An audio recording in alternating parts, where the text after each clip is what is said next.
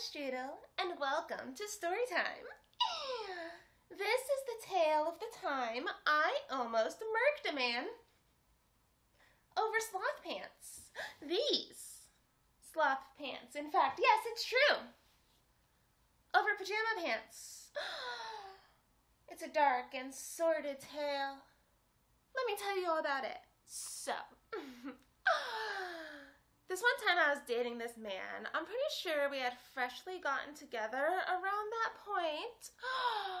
He called me one day and asked if I would like to go downtown with him and his friends, meet his buddies, you know. The only thing was, his friends weren't getting out of work until later.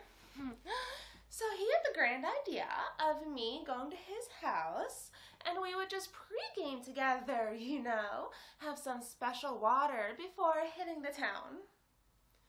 Since it was going to be late, he said, Why don't you come over in your pajamas? Bring a change of clothing, we'll get ready together, pregame, and then we'll go downtown and have an absolute blast with thing one and thing two. I said, Great, that sounds like so much fun. this man I was dating has been nicknamed Shit Sheets in my little social circle. So that's how he's going to be referred to going forward. So I pack a bag, I put on my pajamas, these cute sloth pants, and I go to Shit Sheets' house. I show up, Shit Sheets has already gotten started on the bottle. Dear oh dear, a little bit of a drinking problem here, huh? It was like the 32nd red flag I'd seen at that point, so naturally I swept it right under the rug and grabbed a glass for myself. It starts out really cute. I walk in the door with my little bag packed and these pants on. I'm feeling cozy. I'm feeling cute. And Shit Sheets looks at my pants and he's like, oh my god, are those sloths? I'm like, yeah, they are sloths. They are so cute, aren't they? And he just starts raving about these pajama pants. Like, what a weird thing to hone in on. But he's like, oh my god, they're so cute. Oh my gosh, they're adorable. Yeah, aw, oh, little sloth pants. I've never seen anything like it.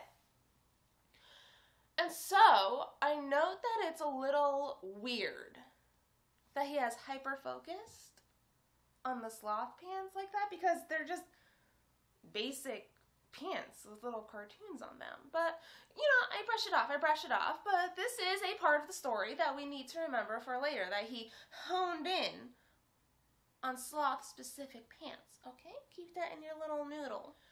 Either the friends fell through or they were completely imaginary because Shit and I ended up not going out at all. No, we pre-gamed, Shit polishes off the bottle and passes out. So now I'm just at this man's house, too weebly wobbly to drive myself home awake, wide awake from all the sugar. So I'm just pacing around, petting his rabbit, walking around his house. I don't have the Wi Fi password. I don't have my laptop. I have nothing to entertain myself with. So I'm just weebly wobbly and increasingly agitated because now he's just fallen asleep on me. He's just completely out cold, snoring. There's nothing to be done for it. I'm like, you know, maybe I should just call an Uber and go home and come back and get my car in the morning, but I'm not gonna feel like that. Maybe I should just crawl into this man's bed and take a nap. And at this point, Shit Sheets hadn't earned the nickname Shit Sheets yet, so it was pretty okay to crawl into the bed, I guess. There may have been prior Shit Sheet incidents that I didn't know about, but these were early days, and I didn't know how dark the times were about to get. So I'm like, fine, whatever. I will have some water and take a little nap. So first I went into his kitchen and I stuck my fingers into his guacamole. Swirled them around a little bit because I was angry. Left it there. So I go into his bedroom And I'm like, fine, I'm gonna take a nap.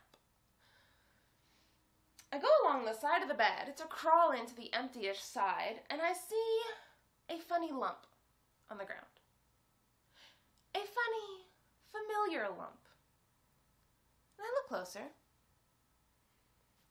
Maybe my eyes are just hazy, a little misty from the special water, because surely I don't see what I think I'm seeing. And sure enough, crumpled on the side of his bed, no lie, is a pair of sloth pants. And I am just flabbergasted, astounded, amazed. The audacity of this man. So that's why he was so amazed by my sloth pants. Because the girl he had over before that he's seeing behind my back also came over in sloth pants. And so he must have thought it was so funny. What a coincidence. It's so hilarious.